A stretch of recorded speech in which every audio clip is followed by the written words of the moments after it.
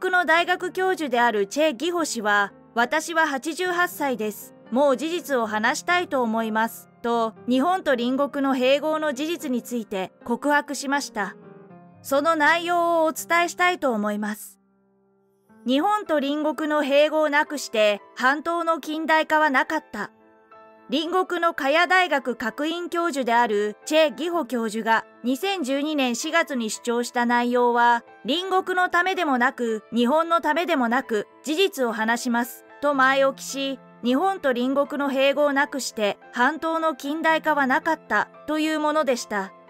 当時の隣国は不正と腐敗が蔓延しており、財政は破滅的状態で財源は枯渇していました。そこで1905年11月に初代東官として赴任した伊藤博文は隣国の道路や学校、病院、鉄道、土木工事などのために日本から資金3000万円を無利子、無期限で引き出し、それらに充てました。チェ教授は統治時代について次のように語っています。渓谷と日本の併合によって教育、医療、工業、社会インフラが整備されました。これにより近代国家の基礎ができたことは明らかな事実です。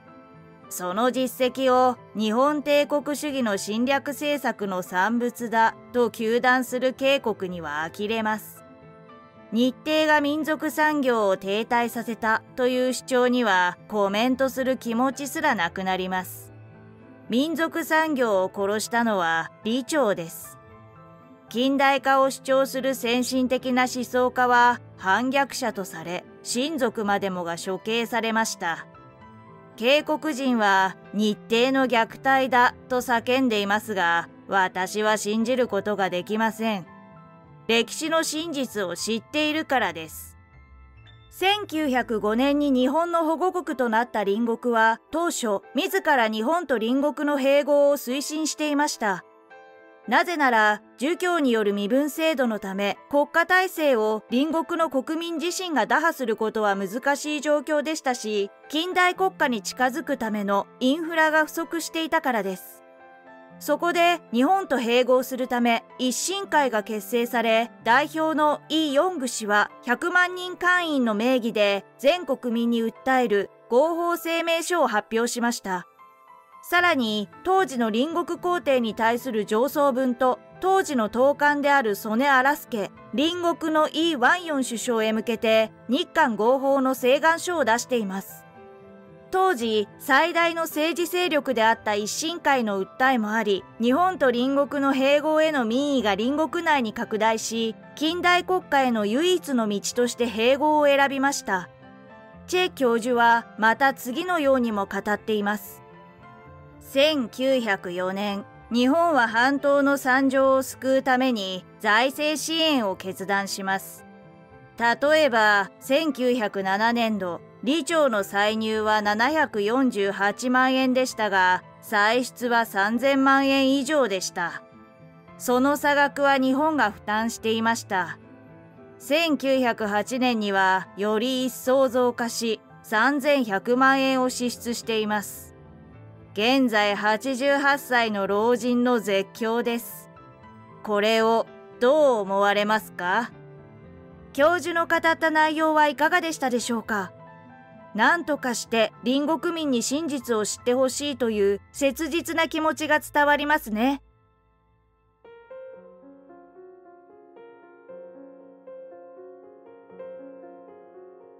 隣国の掲示板に、私は95歳の老人です。生きているうちに日程時代の真実を語ります。というスレッドが立ち、話題となっていました。日程時代とは、日本が隣国を統治していた時代のことで、1910年8月29日の日本による日韓併合から1945年9月9日の半島総督府による対連合国降伏までの35年間のことを指します。スレヌ氏は1924年にソウルで生まれた95歳の老人で生きているうちに日本統治時代の真実を語りたいと孫に掲示板のことを教えてもらったようです。スレッドに書かれた内容を詳しく見ていきましょう。日本統治時代は反日感情などなかった。日帝時代というと暗黒に包まれた地獄の時代という認識が広まっていますが、これは事実ではありません。日常は平穏でした。違いといえば、政治家が日本人で、官庁の看板が日本語というくらいでした。今の隣国社会にある反日感情のようなものは、日程時代にはありませんでした。学校では多少の日本式教育はありましたが、私たちは日本人の先生のもとで一生懸命勉強しました。日本人の先生たちも本当に立派な人たちでした。過去の半島時代を懐かしむ半島人は誰一人としていませんでした。私たちは日本の統治に順応しており、協力して日常を送っていました。日本が南方で勝利すれば、みんなが日の丸を掲げて町を行進しました。日本軍に志願した半島人の友人も多かったし、官庁や警察で働いた友達も多かったです。信じられないかもしれませんが、これは事実です。当時の治安は安定していました。日本軍が少女を路上で強制的に拉致、誘拐したという証言が出てきたりしていますが、もしソウルでそのようなことが起これば、日本の警察がすぐに対応したでしょう。あるいは、半島人が3-1独立運動の時のように立ち上がり、構想に突入していたでしょう。私が言いたいことはただ一つです。全くデタラメな話に乗り、親睦反日主義で国益を損ねてはならないということです。我々の世代はすでにその多くがなくなっています。その時代は地獄ではない。そして天国でもない。ただの日常で巨大な歴史の流れの中の一部分でした。私たちは日本人への恨みと憎しみよりも自国の発展を願うだけです。気をつけてください。共産主義者は民族を前面に持ち出し、理念を注ぎ込んで石化し、私たちの財産を奪っていきます。今、彼らが反日の仮面をかぶって再び襲いかかっています。どうか皆さんはそれに流されないでこれからの隣国を担っていってください。いかがでしたでしょうか？日本軍が半島の少女を強制的に連れて行けば、日本の警察がすぐに対応したり、半島人が立ち上がっていた、と語っていたのが印象的でしたね。また、書き込まれた内容からは、隣国の若者たちに忍び寄る共産主義者の脅威を警告したいという切実な気持ちも伝わってきました。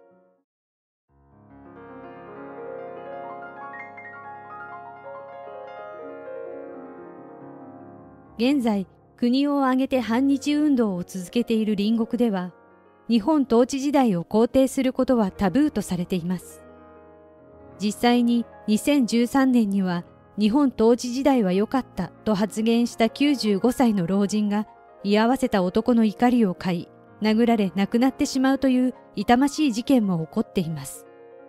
その男は38歳で日本統治時代を経験していない世代でした。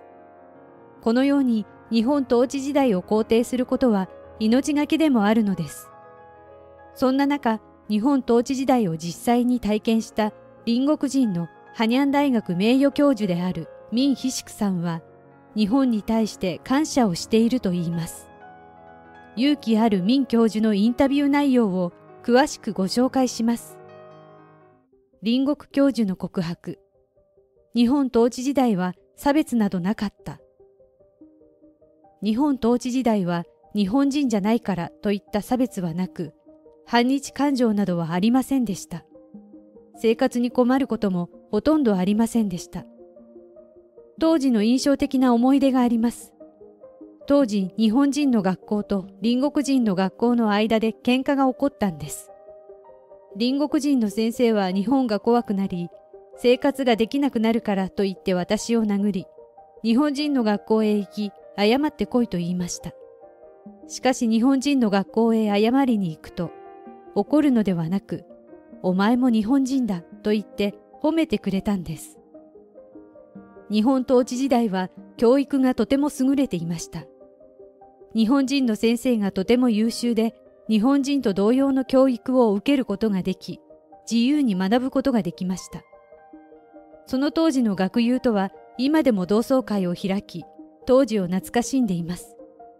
日本への恨みなんかありません。しかし戦後は違いました。大学には教授がいないので、つい最近まで農業をやっていた者が、昔日本でフランス語を習ったというだけでフランス語の教授になったり、1ヶ月フランス語を習っただけでフランス語の教授になっていたので、これではまともな教育が受けられるはずありません。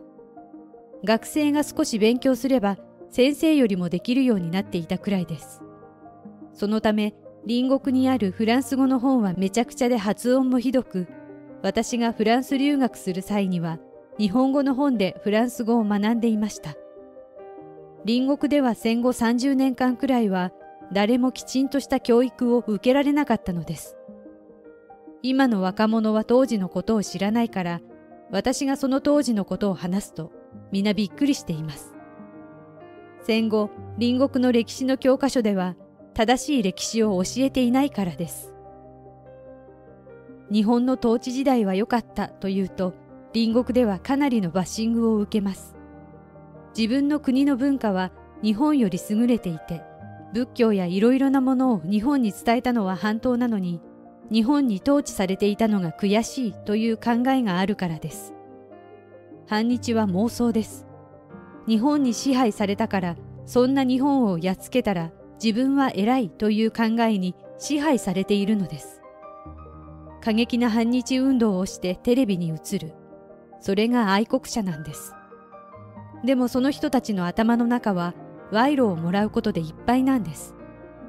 本当に国のことを考えてそういう行動をしているわけではありません。たちの悪い人間が多いんです。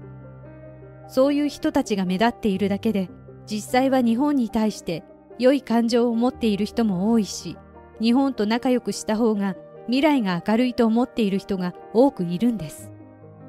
日本の一番の功績は西洋人が支配していた土地を解放したことです。インドやインドネシアなどから見たら日本は恩人です。彼らを西洋人からの支配から解放しているんですから。隣国は例外ですが、それでも実際に年を取った人やインテリは、あの時日本に占領されたのを幸いと思っています。なぜならもし日露戦争でロシアが勝っていたら、半島はロシアの属国になり、皆は捕まってシベリアに連れて行かれたと思うからです。日本が統治した場合とは比べ物にならないほど惨めな状態になっていたであろうとインテリは皆感じています。日本は世界的に見ても感謝される国だと私は思います。民ヒシク教授のインタビューはいかがでしたでしょうか？日本統治時代を実際に経験された民教授は日本からの差別はなく感謝していると話されていたのが印象的でした。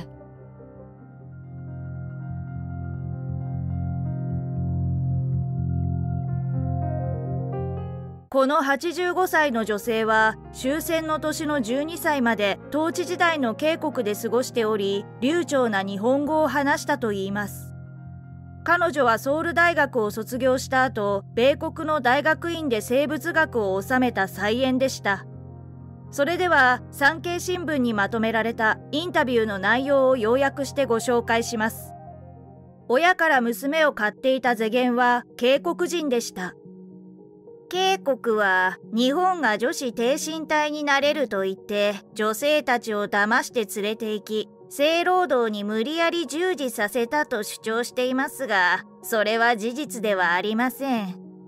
当時12,3歳だった私たち生徒は15歳になるのをとても楽しみにしていました。15歳になれば挺身隊に入れるからです。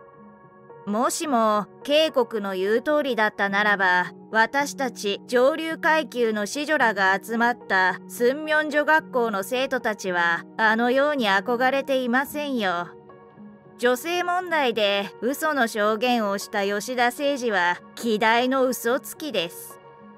チェジュ島では200人余りの若い女性たちを暴力でトラックに積み込み無理やり連れて行ったと書いた日本の A 新聞社もどうかしています。その記事のせいで間違った情報が世界に広まってしまったのです。もしもそんなことがあったら当時の渓谷の男性たちは黙って見ているはずがありません。特にチェジュ島の男たちは気が荒いですからもしもそんなことをされたら命を懸けて戦っていたでしょう。A 新聞は大スクープだと飛びついたのでしょうけどジャーナリストたるもの記事にする前に冷静に調査をしなければいけません。本人の素性も調べていないなんて本当に馬鹿げた話です。どうしてこんな捏造話を信じたのでしょうか。日本人はもっと賢い民族のはずです。女性問題は今の世の中を基準にして考えてはいけません。あの時代は女性は特に人権なんてありませんでした。日本だってお金のため親は娘を売りました。当時はそういう時代でそれが悪ではなかったのです。田舎の貧しい渓谷の親たちは日本語を話せないのですから村々を回って親から娘を買っていた世間は渓谷語が話せる渓谷人だったのですよ。私の母親は一応ヤンバンの出身でしたが女に学問は不要といった当時の渓谷ですから日本語を話せないだけでなくハングルの文字も読めませんでした。父の方は小学校から大学まで日本語教育を受けていますし、朝鮮食産銀行に勤めていましたから、日本人と変わりなく話すことができました。本当に馬鹿げた話なのですけど、戦後、ノムヒョン大統領の下で、新日財産没収法が決まって、総督府が設立した食産銀行に私の亡くなった父が勤めていたことで私たちは親日という扱いになっていたのです。それで長女の私に統治時代に築いた財産を没収するという手紙が来たのですよ。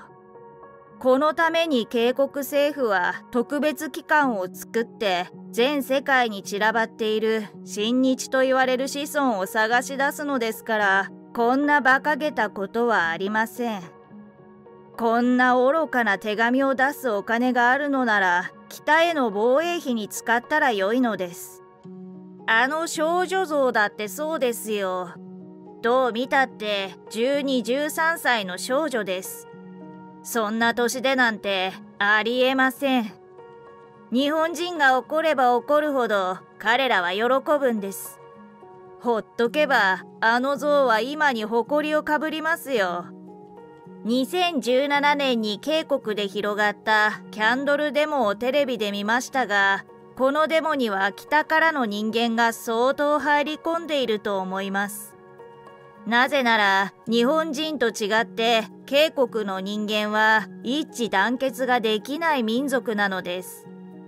この短期間にキャンドルやビラ、そして揃いの上着などを民衆が団結して用意できるはずがありません。北の人間は長年の間命令に従うことにならされています。これだけ警国民が同じ行動ができるのは北からの指導者が統率しているはずです。民衆が気づいていないだけです。終戦の時、日本人教員が引き上げる前日、学校の行動に集まった女生徒たちに先生一人一人が別れの挨拶をしてくれました。その時、私が最も尊敬していた日本人の男性教諭は、立派な朝鮮女子たれと大きく涙声で言ってくれました。果たして期待に添える朝鮮女子になれたのかどうか分かりませんが、せめて先生のご家族にあの時の立派な言葉を伝えたいものです。いかがでしたでしょうか？あの吉田証言のことを嘘だと断言し、もしもそんなことがあったら、当時の渓谷の男性たちは黙って見ていませんと語っていたのがとても印象的でした。東京陸軍少年飛行兵学校に入隊し、後に渓谷で空軍大佐になった蔡三前チェ・サムユンさんの証言を自身の著書日本は奇跡の国、反日は恥、ハート出版より一部引用してご紹介します。渓谷よ、目を覚ませ。渓谷空軍大佐、チェ・サムユン氏の証言。チェさんは昭和3年にノースコリアのハムフンという都市で生まれ育ち、高校は日本人と同じ学校で学びました。彼は昭和18年15歳の時に少年飛行兵を志願します。その頃はもう山本五十六が戦死するなど戦況が悪化していた頃でしたが、チェさんは自分はどうしても少年飛行兵にならなくてはならないと思ったそうです。また彼は志願した時は徴兵ではなかったので兄は志願しなかったと説明しており著書の中で日本軍は警国人を強制連行して無理やり戦争に駆り出したということは嘘っぱちであると特筆しています。日本に渡って東京陸軍少年飛行兵学校大分教育隊に入隊すると通信要員として日本人と同様に専門課程を学びました。成績が優秀だったため軍隊生活における後輩の指導を任されました。チェさんは半島出身の自分が後輩指導という大役につき、日本人がそれを当然と思ってくれたことを誇りに思っていると述べています。またその時期は特攻隊が出撃していました。渓谷出身の兵士が亡くなると、その都度チェさんは上官からそのことを告げられていたそうです。この日本人上司の気遣いが大変ありがたかったとも述べています。大分での教育を終えたチェさんは、昭和19年に茨城県の陸軍航空通信学校に入学し、机上無線搭乗員としての教育訓練を受けました。しかし、昭和20年3月末に繰り上げ卒業となって、兵庫県の陸軍加古川飛行場に配属され、特攻隊の待機要員として訓練を続けていた時に終戦を迎えたのでした。終戦後、ゼさんは苦労してソウルの実家に帰り、大学に入り直して勉強をしていましたが、発足したばかりの警国空軍に入隊し、いきなり朝鮮戦争を経験することになりました。チさんは戦後創設された警国軍としての体制維持に大きな影響を及ぼしたのが日本の陸軍士官学校出身者であり、私のような少年飛行兵学校出身者だったと記しています。このことからも日本は半島出身の志願兵に帝国軍人としてのしっかりした基本教育を行い、将来の半島での中堅として育てていたということが本当であったと言えますね。ゼさんは後に空軍大佐になり、1971年に42歳で退役しました。その後、1979年に帝国陸軍士官学校に留学していたことがあるパク・チョンヒ大統領が暗殺されてしまいます。チェさんはこの学政権時代までは日本の精神文化が警国社会に強い影響を及ぼしていたものの、それ以降は影響力が薄まったと歴史を振り返っています。現在の警国は統治時代の日本が与えた教育から全くかけ離れ、自国の英雄を罵倒し、親日狩りをする道徳が欠如した国になってしまいました。チェさんはそんな警国を去り、晩年は日本で過ごしました。そしてチェさんは2020年に92歳で亡くなるまで日本では講演会などを通じて両国の危機を訴え続けました。警国よ、目を覚ませ。日本人よ、誇りを取り戻せ。ノースコリアが崩壊する前に警国を乗っ取って石化統一を図り共産化する戦略をずっと進めている。警国に入っている分子が反日活動を行うことで日本と分断して渓谷を孤立させようとしている。このように繰り返し警鐘を鳴らし続けたのです。また知さんは日本が統治時代に半島にもたらしたものは国土のインフラだけではなく無形の要素である人的インフラつまり日本の精神要素を学んだ警国人であった。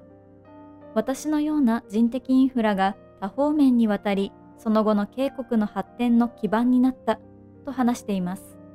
そして現在の警国はアメリカに守られ日本の手厚い援助で経済成長を遂げながら裏からノースコリアを助ける恩を忘れた反逆者であると祖国を憂いたのです。日本については日本人は悪いことはしていない。今のアジアは日本がいなかったらアフリカのように大陸全体が欧米列強に侵略されて植民地化されていたに違いない。白人優位の世界をひっくり返した日本の犠牲と努力のおかげで人類普遍の価値が共有できる社会を今満喫していると信じるものであると評価しています。戦勝国は日本の再起を非常に恐れている。だからこそ戦勝国が主張している歴史観から脱却せよと叱咤激励されました。他にも半島出身で日本軍に入隊した人の中には将校にまで昇進した人たちがいました。最終階級は陸軍中尉だった本サイク氏や別の動画でも紹介した満州国軍の中尉だったペク・ソンヨプ氏は日本でも名前を知られています。